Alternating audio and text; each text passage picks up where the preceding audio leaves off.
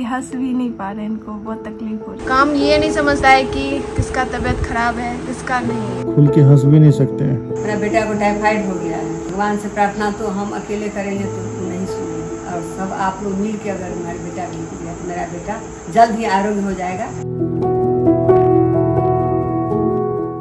आज मेरे bed rest है जी दूसरा दिन। कल ही डॉक्टर से दिखाया था और उन्होंने कहा था कि कम से कम दस दिन आप प्रॉपर रेस्ट लीजिए। उसके बाद ही कोई भी चहलकदमी कीजिएगा। लेकिन बेड पर ऐसी पड़ी पड़े जी, क्या हालत होती है? जो भी लोग इस दौर से गुजरे होंगे उनको पता होगा। मन करता है कुछ ना कुछ करते ही रहे, लेकिन डर लगता है कि उठर के कुछ करने लग जाए, फिर दिक्कत ना हो जाए। डॉक्टर ने भी कहा है तो कुछ ऐसे ही समय चल रहा है। अब मन में आ रहा है। फास्ट फ़ूड सब ज़्यादा खाया करते थे। नहीं खाना चाहिए था। उधर से जिया ताना मार रही है लेकिन उसको जो है अभी इग्नोर करना है।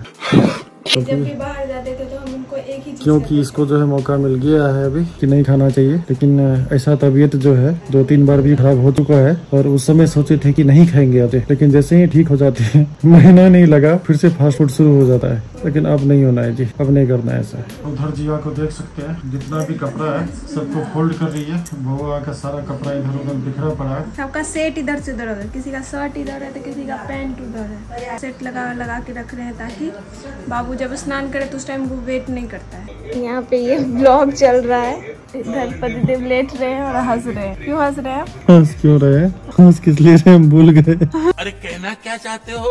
हंस के लिए हंस किस लिए रहे हंस भी नहीं पा रहे इनको बहुत तकलीफ़ हो रही है ना हंसने में लेकिन हंसे जा रहे हैं। साहब खुल के हंस भी नहीं सकते हैं। तो ये हंस इसलिए रहे कि ये अपने परेशान है और हम आके लेटते हैं बोलते बहुत दर्द हो रहा है तो ये बोल रहे हैं बोल रही हो। आपको तो हमसे ज़्यादा दर्द हो रहा है अभी। एक पेशेंट पड़ा हुआ है उसी पेशेंट को कहेगी हमको दर्द है। इधर बउआ लेटा हुआ है आराम से। इधर ये लेटे हुए हैं।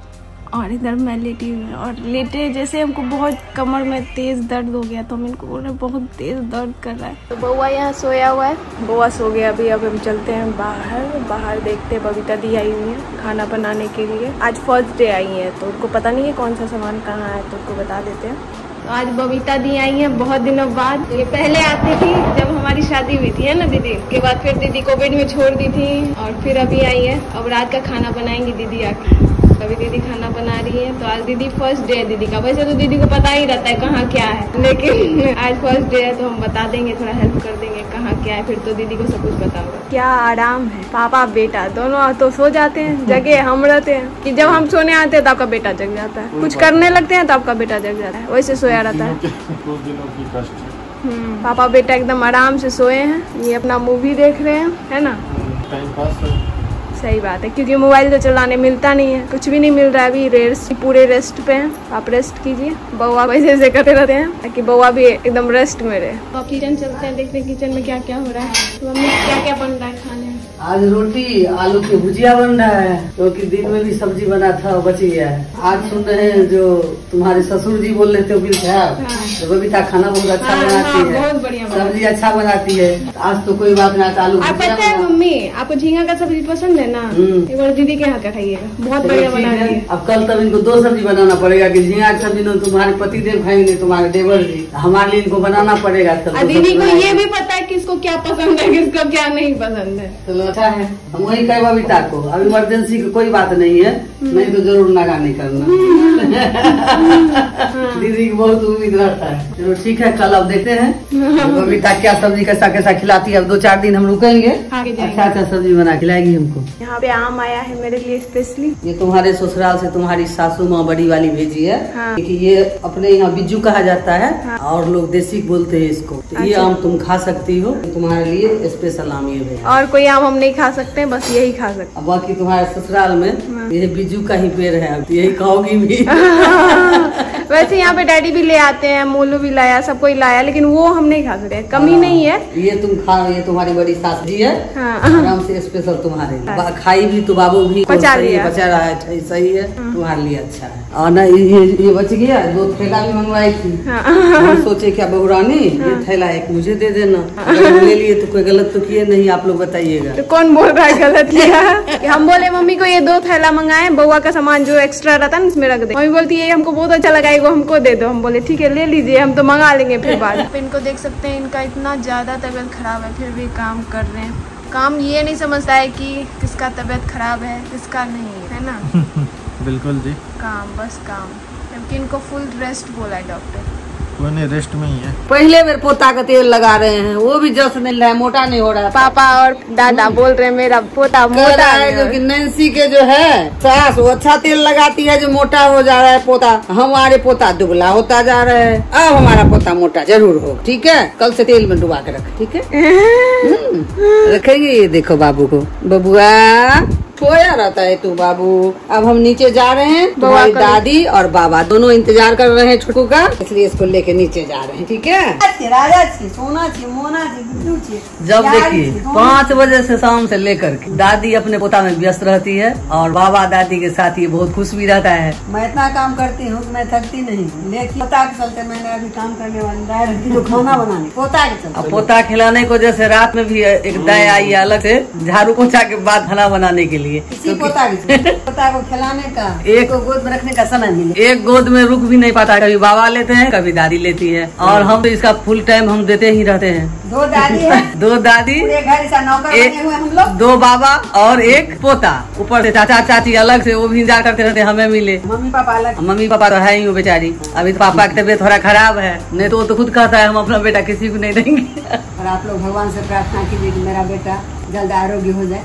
कि आप लोग का आशीर्वाद से आगे बढ़ेगा। ऊपर भगवान की कृपा और जनमानस हमारे समाज का दुआ। वही हमारे बेटा को आरोप करेगा। बुखार टूट गया टाइफाइड हो गया है। को रहा है। बस इसका काम है सोना। रोना। रोना बस। दूध पीना।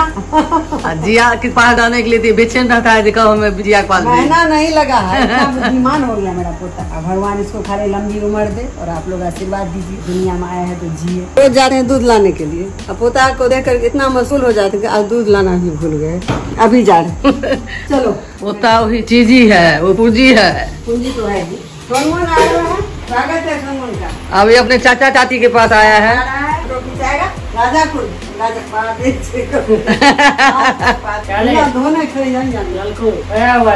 ये चाचा चाची पढ़ाई में व्यस्त है लेकिन फिर भी एक बार ज़रूर जा करके देखाती है। अब ये छोटका को सिखा देंगे रीतू माँ। पढ़ा लिखा सब इतने मन लगे बच्चा ये लोग पढ़ाई लिखाई छोड़ करके इसके पीछे लग जाता है दोनों। इसलिए हम पढ़ाई लिखा डिस्टर्ब नहीं करेंगे तो ले जाते हैं। ये लोग हमेशा चाहता है यही चलो तुम लोग अब को नहीं देखो। देंगे थोड़ा सा लेना अब चाचा गोद से उतरा फिर चाची गोद में बैठ गया। समाधि में रहते हैं बाबू। बाबा के घर में समाधि में रहे थे इधर चाची पढ़ रही है ये है चाची का। इधर बेचारा चाचा जी पढ़ रहे हैं। और बीच में बाबू आ ही जाता है। अब ये सो रहा है फिर अब इसको ऊपर ले जाएँगे। अब ये से देखेगा पढ़ते तो संस्कार भी ऊँचा होगा। फिर ये भी पढ़ेगा।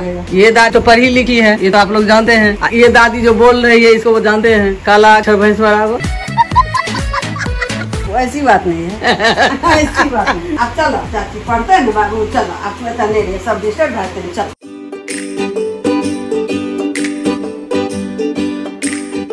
इधर से रेगुलर वीडियो भी नहीं जा पा रहा है। मेरा बेटा को टाइफाइड हो गया है। भगवान से प्रार्थना तो हम अकेले करेंगे तो नहीं सुने और सब आप लोग मिल के अगर मेरे बेटा मिल गया तो मेरा बेटा जल्द ही आरोग्य हो जाएगा। और आप लोग के आशीर्वाद और दुआ और सपोर्ट से ही आज वह इस मुकाम पर है। मुझे लगता है सब मिल करके मेरे बेटा की ज़रूर प्रार्थना करेंगे। और हमको अपना भी भगवान पर बहुत भरोसा है कि मैंने अपने जीवन में कर्म और बोली से किसी का बुरा नहीं किया। नहीं किया है तो भगवान हमेशा हमारे साथ रहेंगे और उनका दया पात्र बने ही रहेंगे। और हम हमेशा सबके लिए मांगते हैं, बाद में। अब हम जा रहे हैं इनके चाचा चाची घर क्योंकि अब इन लोग भी गए थे दो तीन बार मांगने। तो दिए नहीं थे कि ये लोग पढ़ रही थी। अब हम सोचे कि इन लोग को भी ऊपर जाने से पहले दोनों चाचा चाची को दे दे। ये लोग भी अपना थोड़ा हाँ, सा भी अच्छे समय पर। आई कि पढ़ाई का क्लास जो है अब समाप्त होने पर है या हो ही गया होगा। चलो अब दो चाचा चाची बेचारे सभी अपने अपने बालिग हो गए हैं। उनको क्या पढ़ाई करना है क्या करना नहीं करना वो उनकी अपनी जवाब। अब दो चाची बेचारी इंतज़ार कर रही है। और टेबल पर राजा सोएगा। राजा सोएगा हैं। जितना टाइम मिलता है इन लोग को। हाँ? खिलाने आ ही जाता है पढ़ाई उड़ाई छोड़ के। जग गया जगह अपने चाचा गोद में बहुत खुश है। खुश नहीं है तो लग रहा है क्या हो रहा है? इसका अभी जवान नहीं है। वो भी बेचारी घूम रही है लेने के लिए। जब भी पढ़ाई से इन लोग को टाइम मिलता है तुरंत पहुँच जाती है मेरे पास। अरे जग भी गया जग गया राजा। जैसे ये रोता है वैसे उसकी चाची पहुँच जाती है दादी। दादी हमारे बच्चे को मारती तो नहीं है। तुरंत उठ के पहुँच जाती है पढ़ाई छोड़ के। हाँ हाँ हाँ दादी मारे आ गए चाची मारे मम्मी मारे के मारे बाबू का के मारता रे अब इसको तो चाची कहना नहीं सिखाएँगे इसको रीतू माँ बोलेगा ये बड़ा होगा। इसको सिखाएँगे तुम रीतू माँ बोलो। चल वैसे तो मतलब क्या बात होती है हम लोग नहीं जानते लेकिन माँ लोग बताई थी जब तक यहाँ का माहौल या यहाँ का बात जब तक उसको दिमाग गया ज्ञान विवेक बुद्धि नहीं होगा तब तक बच्चा अतीत में रहता है। उस समय जो हंसने का माहौल होगा रोने का माहौल होगा उसको ही जहाँ देखते सोने में हंस देगा सोने में रो देगा। एक बैग रोने लगता है कथा एक तरह से। अब यह है जो कि ये भी बहु रानी हमारी है थोड़ा सा पढ़ लिख के कहीं न कहीं अपना हम चाहते हैं कि अपने सास की पोस्ट पे जाए तो और खुशी होगी हमको। फिर अपना जैसे जैसे समय बीता बीता जाता है वैसे हम इंतज़ार करते जाते हैं कि दूसरा पोता आ जाए दो साल बाद। तब तक पढ़ाई भी इसका कहीं न हर कहीं माँ बाप चाहता है कि हमसे चार उंगली मेरा बाल बच्चा ऊँचा हो। बच्चों का प्रयास और आप लोग सभी का दुआ और भगवान की दया दृष्टि होगा तो वही जो मंजूरी खुदा हो। निर्जा के चाहने से कुछ भी नहीं होगा। हमारे सोनू के अभी बीमार है उसकी तबीयत सही नहीं है। आप लोग बिल्कुल आशीर्वाद दीजिए भगवान से प्रार्थना कीजिए। टाइफाइड हो गया है। टाइफाइड तो थोड़ा सा लीवर जो है वो थोड़ा लेट से छूटता है कमज़ोर हो जाता है। सोनू उतना झेल भी नहीं पाता है हाँ। इसलिए थोड़ा ज़्यादा घबरा थोड़ा ही बीमार होता है तो बहुत ही घबराहट हो जाता है सिर्फ़ भगवान की कृपा और आप लोग के आशीर्वाद का ज़रूरत है। मुझे लगता है ज़रूर मेरा बेटा ठीक हो क्या कर रहा है दादी के पास? दादी के पास आप सोचता है कि दादी दो चार दिन रहेगी। दादी के पास रहे अरे अपने चाची के पास तो तू बड़ी खुश होकर देख रहा है मुझे नहीं देख रहा है हैं? अरे हंस भी रहा है लड़का हंस भी रहा है अपने। हम्म होली मेरा बाबू है तू सोना राजा बेटा है तू तू मुझको बेटा है। बेचारा आधा नींद में है आधा जगा हुआ है। हम्म हो गया मेरा बाबू फिर इसको ना सोने से मम्मी एक बार मारी होगा फिर दूध दूध पिलाएँगे फिर छुटका को सुला लेंगे। अब हम जा रहे हैं क्योंकि हमारे बाबू जिया के पास इसको दे देंगे फिर सब आदमी हम लोग खाना खाएँगे फिर बाबू का मालिश होगा फिर मेरा बाबू छो जाएगा। मेरे पास होता है बाबू हमें भी बहुत दुख होगा जाएँगे तो हम बहुत रोएँगे अपने पोता के लिए। हम्म। देखिए इस बात की खुशी है। दादा दादी खुश रहेंगे यहाँ पे। हम थोड़ा देर ट्रेन में ज़रूर अपने पोते के लिए रोएँगे फिर नाती मिल जाएगा फिर हम खुश हो जाएँगे। बड़ी दादी भी खुश मैं भी खुश। बाबू का होगा मालिश कि मेरा बाबू मालिश करा तो लेता है। लेकिन जब आगे करते हैं तो बहुत दुखी करता है। हाँ? सुसु भी करेगा सारा काम कर देता है बाबू मेरा। कुछ ऊँचू होगा होगा कि नहीं होगा?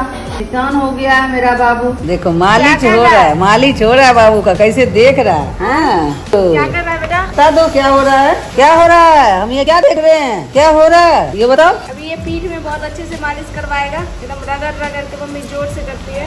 लेकिन जैसे ही पेट की बारी आएगी चिल्लाना तब ये चिल्लाना शुरू कर देता है। देखिए कैसे देख रहा है ये। सर को सर पे उठा लेता है। इधर। ए इधर देखो इधर। क्या कर रहा है? ना देखला The next day. अब दूसरे बाबा के साथ ये अपना खेल रहा है सुबह सुबह अरे अरे, अरे बाबू।